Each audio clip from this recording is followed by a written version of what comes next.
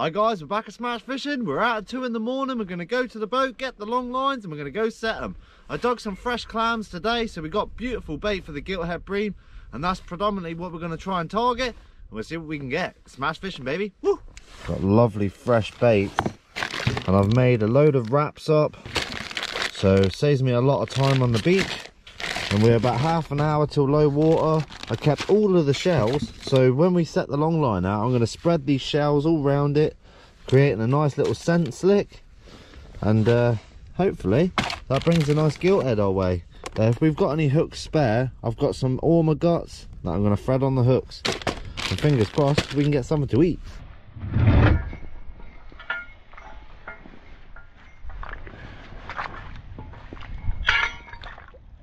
So we've got two fisherman's anchors, nice heavy ones, and they will dig in the ground like this, and then the long line pulling on it only digs it deeper. Great little anchors for doing stuff like this.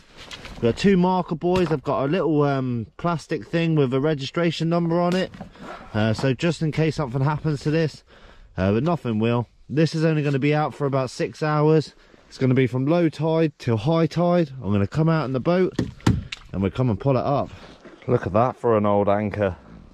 That's a beast. Puts mine to shame. Lovely to see though. You find that a lot in Guernsey. You find anchors on the low water marks.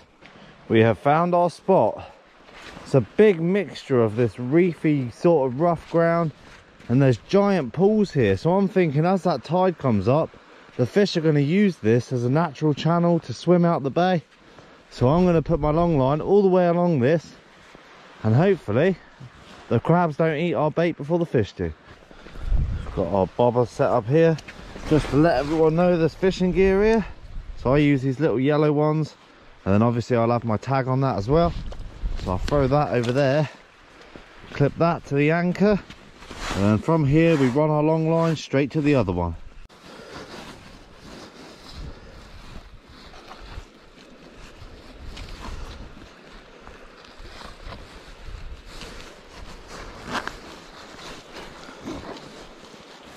Ain't going nowhere. So what I'm going to do is I'm going to bury these anchors. Once I get the long line out, I'm going to bury them up, put some boulders on top, and they will never move.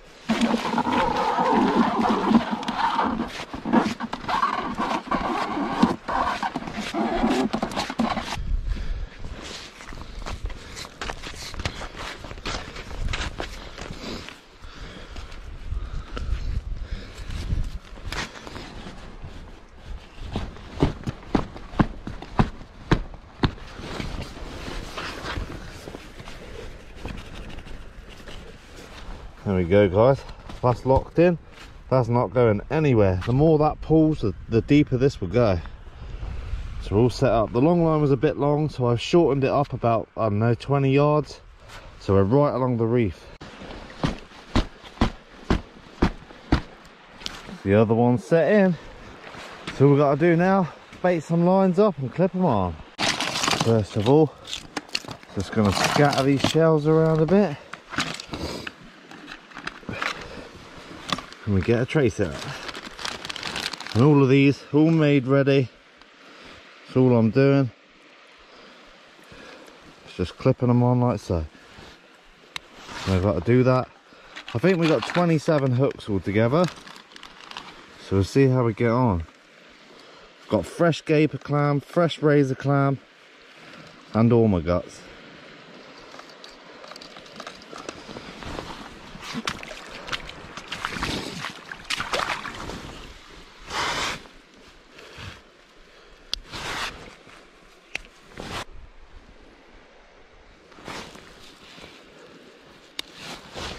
quite a time consuming job doing this long line that's for sure.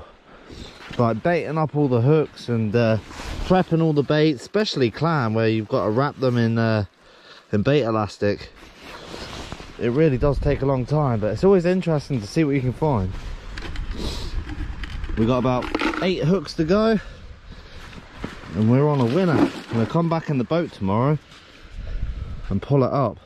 So i don't want to leave this out where dogs might be able to get near it or anything like that hence the reason i've come out at two in the morning It's because uh, I want to get to this before it dries out.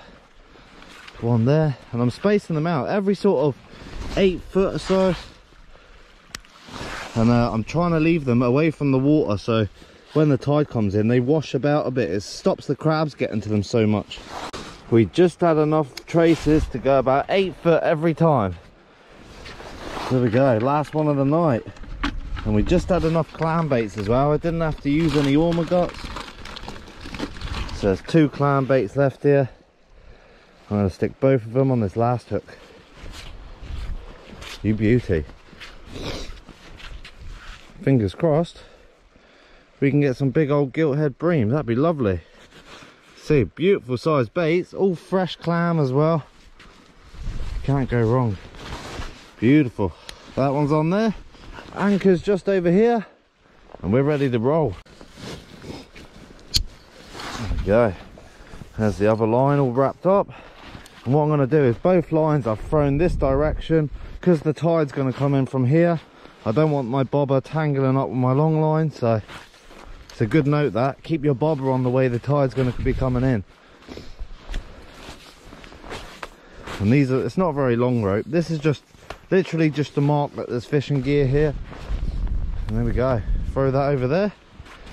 And we're ready to roll. So there we go guys.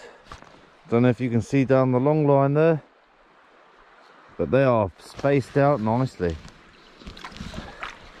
And like I said I've got all the shells in amongst the rocks here. Fingers crossed. That brings a nice old gilt head in. I'm hopefully I haven't used any sort of sand eel or peeler crab or anything like that because I'm trying not to catch bass. But there's always a very good chance of getting them with clam but I, I figure gilt heads prefer it so hopefully we win. We've arrived back at the dinghy. Nice. So I'll chuck that on there. And then tomorrow we'll come out and get it. Hopefully we get lucky. Back on the boat now guys this morning and so now 10 o'clock in the morning so this has had a six and a half hour soak. Hopefully we got a nice gilthead I've been determined to catch gilthead on the long line but um, I just haven't had the bait to do it so fingers crossed today we get lucky. But uh, with long lining it's a lot of work but I love the I love the feeling of not knowing what's coming up. So it's not I haven't long been awake so if I look like I've got tea bags under my eyes it's because I do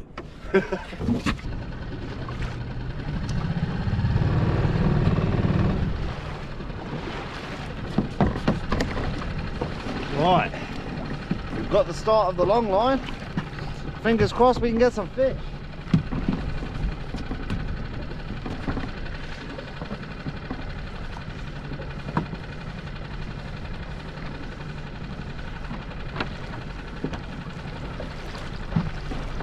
anchors in there well. Come on, give us some fish. I'm always excited to do this. Is it worth the hassle of setting it all up?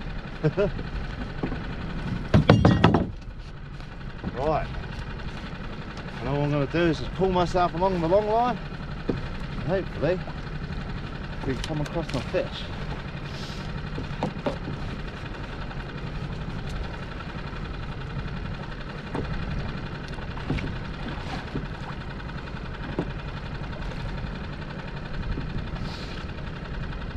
Oh, there's a fish on here. I can feel it. Oh, I can feel it. There's definitely something kicking. I've got the net next to me, guys. Let's see what we got.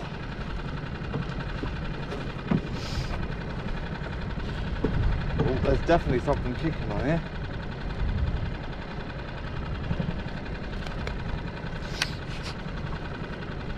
It's going crazy. I can feel it swimming.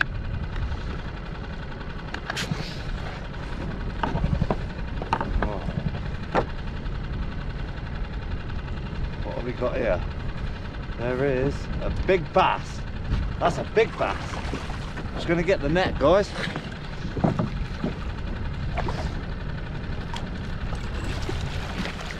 There we go. First fish of the day. A lovely basil.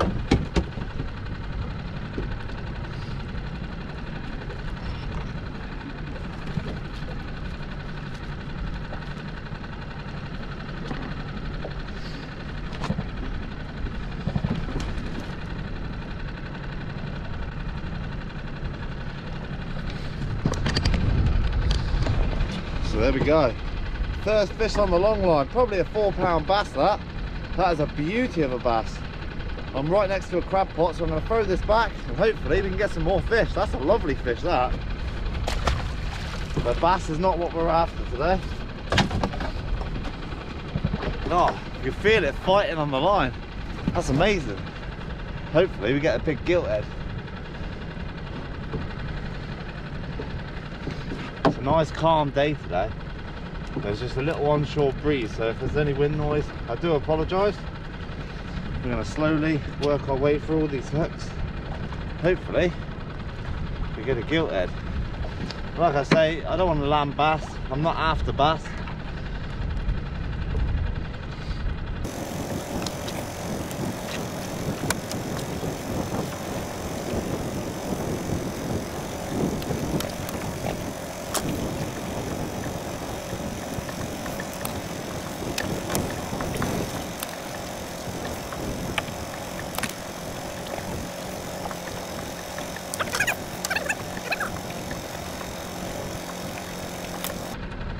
I don't even think we're halfway across the long line yet.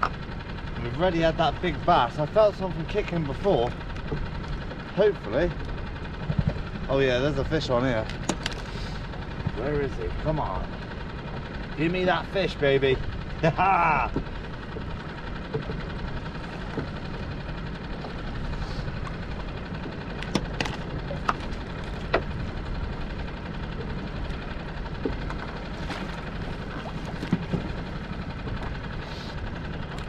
hopefully. Hopefully it's the target species. I can feel it kicking. Something coming up. Is it another bass? Looks like another bass. We were trying to avoid bass but it's inevitable using any sort of bait like that we go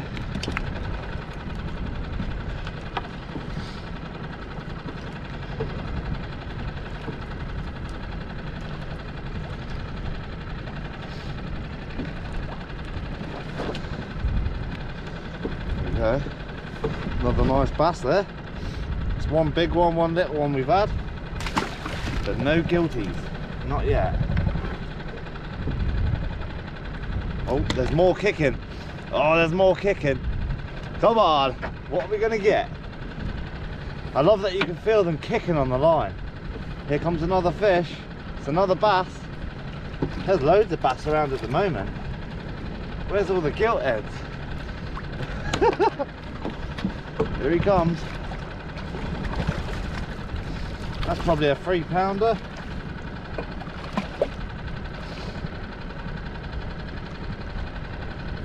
There we go. Another bass. Another good bass as well.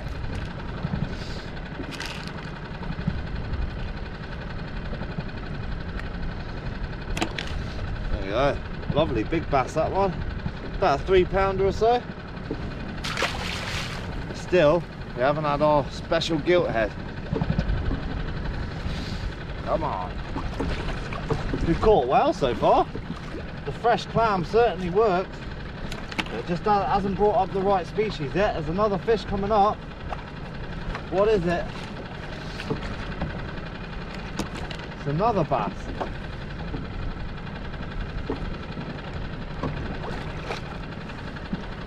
All good size as well, really good size bass.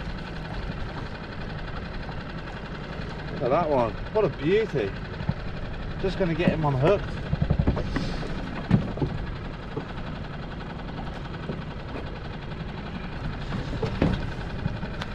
And there you go guys, this is why I wanted to come early to the long line. Is uh, I didn't want any dead fish or gut hooked fish. All of the bass today have been hooked just in the lip. So that's ideal.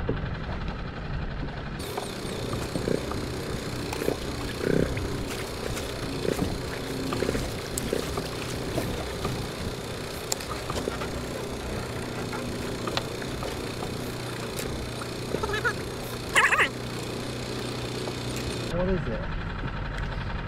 Oh no, maybe not. So there you go guys. Yeah, a load of bass, no gilt heads. All good bass though. All between four, two to four pound. It's not bad going that. Quite happy with that. Hopefully, next time we can get some uh, some gilt heads.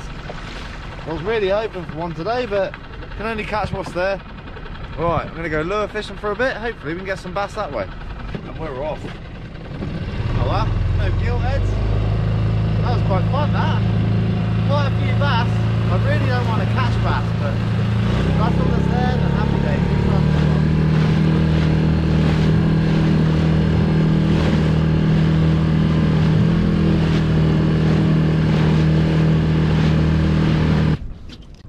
That's all for today's episode, guys. I didn't get any bass on the lures. Tried a few spots, but there weren't nothing around. Loads of bass on the long line. That was quite interesting. I'd rather catch gilt heads, but you just can't help catching bass. Doesn't matter what bait you use, there's always one going to show up eventually. But hey ho, if you enjoyed the video, make sure to hit the like button and subscribe if you're not subscribed. There'll be plenty more to come. It's smash fishing, baby. Woo!